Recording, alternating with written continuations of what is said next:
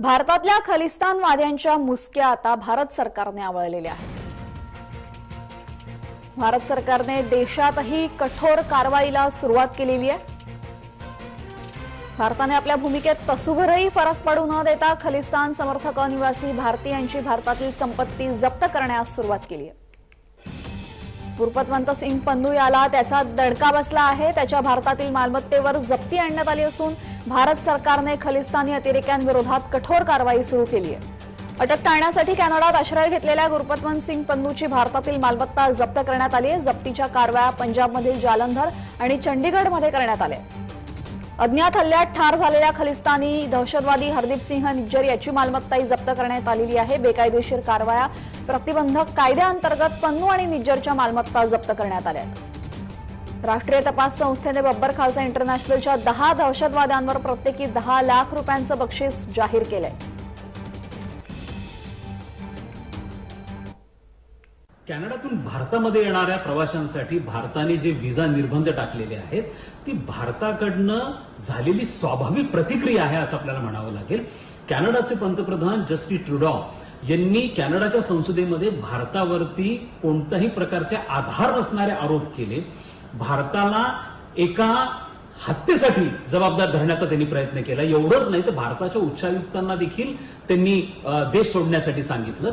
त्यामुळे स्वाभाविकपणे भारताकडनं अशा प्रकारची ही प्रतिक्रिया येणं हे स्वाभाविक आहे पण याचा जो एकूणच परिणाम आहे तो भारत आणि कॅनडा यांच्यामधल्या दीर्घकालीन मैत्रीच्या संबंधांवरती होणार आहे. दोन देशांमधला व्यापार हा जवळपास आठ अब्जपर्यंतचा आहे. त्याचप्रमाणे आज जवळपास सत्तेचाळीस हजार विद्यार्थी कॅनडामध्ये शिक्षण घेत आहेत. एकूणच दोन देशांच्या व्यापारी असतील आर्थिक असेल किंवा सांस्कृतिक आणि शैक्षणिक संबंधांवरती या सगळ्या गोष्टींचा परिणाम येत्या दिवसांमध्ये होणार आहे. सुखदुल सिंग उर्फ सुखा हा कॅनडाचा नागरिक होता. त्याच्या हत्येमागे भारत असल्याचं कॅनडाचे पंतप्रधान जस्टिन ट्रुडो यांनी भारताला जबाबदार ठरवत सांगितलं. दरम्यान ट्रुडो नक्की काय म्हणाले ते आपण सविस्तर पाहूयात. त्यांच्याकडे सबळ पुरावे आहेत. या पुराव्यांच्या आधारे त्यांना हे संकेत दिलेले आहेत की भारत सरकारच्या एजंट्सनी कॅनडाच्या भूमीवर त्यांच्या नागरिकांच्या हत्येस हातभार लावला. भारताने जे घडतंय ते गांभीर्याने घ्यावं इतकीच कॅनडाची अपेक्षा असल्याचं ते म्हणाले. कॅनडाच्या नागरिकाची कॅनडातच हत्या झाली याचं सत्य समोर यावं ही त्यांची इच्छा आहे. त्यांच्याकडे न्यायव्यवस्था सक्षम आहे आणि भारताने तपासात सहकार्य करावं अशी इच्छा त्यांनी प्रगट केली आहे.